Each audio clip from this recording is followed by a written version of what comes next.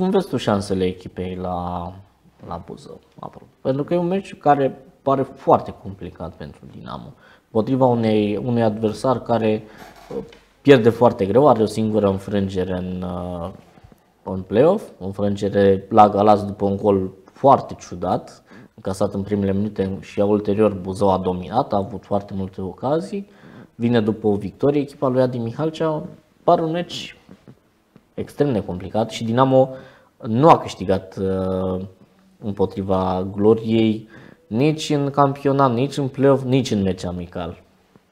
Cătălin, este singurul meci care ne mai poate oferi șanse teoretice da? și mm, eu știu uh, ne-ar menține cumva lupta pentru un loc direct promovabil.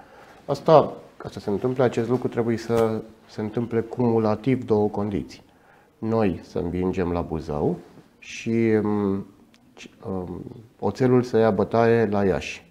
Sunt două da. condiții cumulative. Dacă nu se vor întâmpla ambele uh, condiții, atunci um, Dinamo nu mai are nicio șansă la un loc direct promovabil. Despre șansele de a câștiga mă întrebi? Da. Undeva la 30% avem șanse să câștigăm. Deci nu ești nici tu foarte... Nu, nu, nu, nu sunt optimist, nu datorită jocului prestat de Dinamo.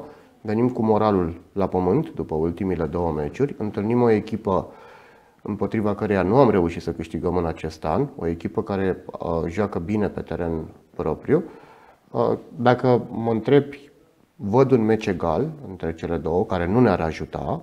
Sper să nu luăm bătaie, pentru că uh, asta ar însemna să avem o problemă cu locul pentru baraj, nu în obținerea locului da. pentru baraj, ci în poziția de pe care vom ataca barajul.